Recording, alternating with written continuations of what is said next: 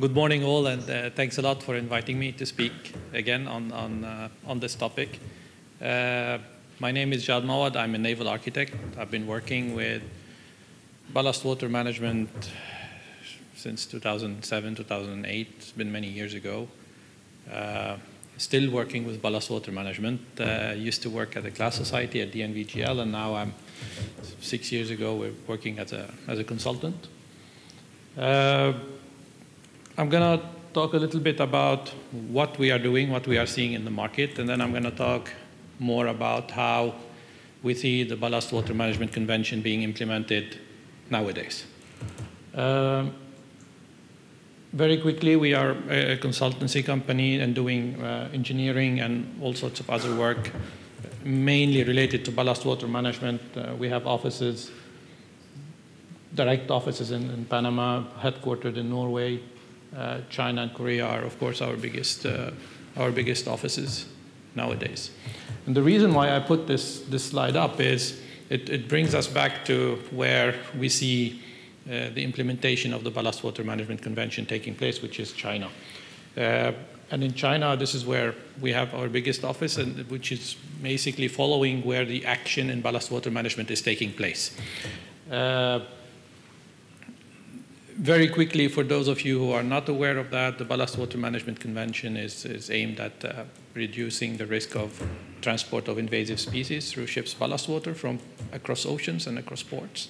Uh, this is a problem that's become very significant with the increase of, of steel ships after in the 1940s, and, and now it's becoming a, a, major problem for the ocean's ecosystems. Uh, the convention has entered into force many years ago, two, two years ago. And at that date, ships have started doing ballast water exchange in the middle of the oceans, meaning that you, you take the water from the port, you change it with more or less a bit cleaner uh, water in the middle of the ocean, and then you discharge it later on. So everybody talks about uh, treatment systems and so on, but, but we actually have done a lot already by doing exchange the, the reduction of, of, of uh, invasion by uh, ships ballast water is already well underway by the ships today, as they do ballast water exchange, and they've been doing it for two years. It's not enough, so now, as of 8th of September this year, which is a couple of months ago, uh, the convention requires ships to start meeting a, a, discharge standard. The discharge standard is, is a numerical number of organisms per cubic meter of discharged ballast water and per milliliter, depending on the size of organisms. It doesn't say which organism or which fish or which uh, you, you need to discharge. It just says these are the numbers uh, based on their size. Uh, the vast majority of the ships will comply with the convention's uh, numerical standards by treating the ballast water with conventional treatment unit systems. UV uh, based, ozone based, electrolysis based.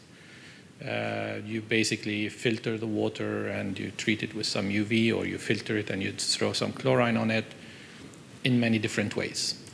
Uh, there's a very complex and long type approval regime for ballast water management systems that need to be uh, complied with before it can be put on board ships. Uh, I've been involved in this process since the beginning. I've, I've, written most of the regulations and I've contributed to most of them back then. Uh, there's not, uh, there's always a good reason why the ballast water regulations became as complex as they are today. Uh, it's, a, it's a very long process involving hundreds of countries and experts and, and all sorts of people, and eventually it becomes complex and long and big, and we have, I think, countless of guidances and guidelines and and so on on, on the Ballast Water Management Convention. Uh, what I want to focus my talk about today, I'm, I'm, happy if people have questions about why the regulations became like that and, and what the regulations say. I'll, I'll be happy to answer those questions later at the panel. I, I just want to talk on what we see uh, in China basically and, and worldwide, but mostly in China taking place when we are now retrofitting all those ballast water management systems. Uh, these are numbers compiled by, by us at, at, uh, at the company where we are trying to uh, to see what the future is looking like for us and, and how, how we need to man our, ourselves. Um, engineering for retrofit is, is increasing quite a lot. What's increasing even more is the demand for being on board ships and doing supervision and commissioning of, of installations in China. Um, we anticipate that some 70% of all dry docks take place in China. And of those, uh, scrubbers and ballast water management systems are usually installed more or less at the same time. Uh, sometimes they do one before the other, but, but they're usually, uh, if there is a scrubber being installed, they just put in a ballast water system as well, and they do the engineering and so on at the same time. Uh, we we see a curve of ships that have to comply with the new standard. That means they need to put a treatment system on board uh, and then within the next four or five years. Uh, the huge peak that we see coming up is in 2022. The reason being is that uh, the IMO has, has put some has changed the dates all the time when you need to comply and not. And ship owners have been changing their certifications regime based on that. And, and, and ships work like sheep. If somebody does it, everyone follows. Uh, especially Greek ship owners have been extremely fast in, in following the regulations of the IMO. And so we've seen that in 2017, the IMO decided that uh, you know, if you, if you have not done your IOPP certificate yet, you don't have to put a treatment system. And so all ship owners have done their IOPP certification more or less in August 2017. And then all the retrofit, more than 15,000 ships now have changed their dates up to more or less August 2022, which is five years from 2017. And we see that peak now in the curve. Uh, which is quite significant. It's putting a lot of strain on everything that and, and that's going to happen, and uh, we simply don't have a solution for that problem because there's not even enough shipyards that can take 15,000 ships in one year. That's a huge number if you think about it. Uh, what we see is that uh, the Coast Guard, the American Coast Guard, has their own ballast regulations. They, they do their own thing. They force ships to put equipment that are type approved by themselves, even though they're not flagged in the US. So you want to call the US port, you want to discharge in US ports, you have to use US approved equipment. Uh, the Coast Guard does not follow the same extension and implementation regime as the IMO. They have their own. And we see that taking effect on the uptake of ballast water treatment systems on ships. It shifts.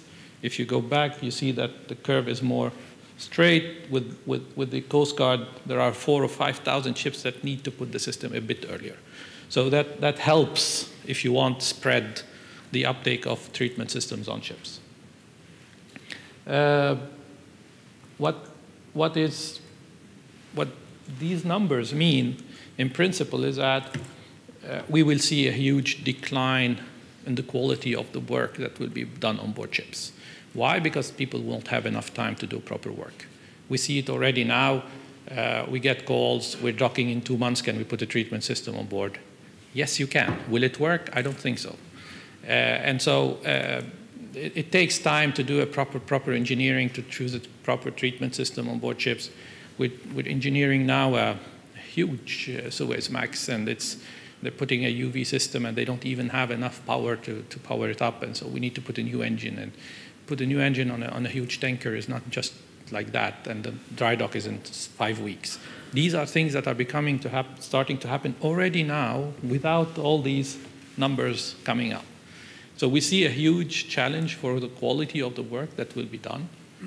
Uh, Chinese shipyards are, are, are very good in effectively putting standard equipment, getting them to run, and getting the ship out. Uh, this is why this is how they can maintain the prices, and then this is why everyone goes to China to do the dry docks. Uh, the problem is that those shipyards they don't see always the advantage of becoming uh, uh experts in installing either scrubbers or ballast water treatment systems, which means that as ship owners, you, you, have, you probably have to follow it up more closely to make sure that it actually works and it's not, not just installed. Uh, we expect that uh, because of the problem in the capacity of the shipyards, probably ship owners will start putting systems earlier. At least that's the hope, but that's not happening. We still see today, we have until 2022, we just wait until 2022. And then people are not putting systems before. Probably for, for uh, investment reasons, money, money-wise. If they don't have the money, they just don't do it. Uh, we see that uh, uh engineering-wise, we will have to uh, step up. For those of you that are doing engineering, for the, you have to do a better job, basically, making it more precise, putting systems that are more in more detailed way and actually can work because you won't have time to do all these corrections in the shipyard because the more delays that happen in the shipyard because you've done the wrong engineering the pipes don't don't don't add up uh, the pumps don't work it's undersized etc then the shipyard needs to take more time and if everybody does that, then we, we will never finish. Uh, testing for compliance is a requirement coming from the IMO that you need to actually sample the water and make sure that it actually meets the requirements before the ship leaves the yard. This will become mandatory for everyone in a year, year and a half so. Uh, some, some flags have already started implementing it. Singapore is one of them. Uh, looking at that and looking about at those challenges on on the implementation and the large number of ships we expect to come at the same time, uh, we don't expect units and, and, equipment on board ships to work properly until at least 2029, which means that we probably need to do another run of renewal, renewal surveys before we actually make them, make them work. Uh, otherwise, we don't, we don't expect any uh, major changes in the implementation because of new regulations coming up in the US and other places. That's it for me. Thank you very much.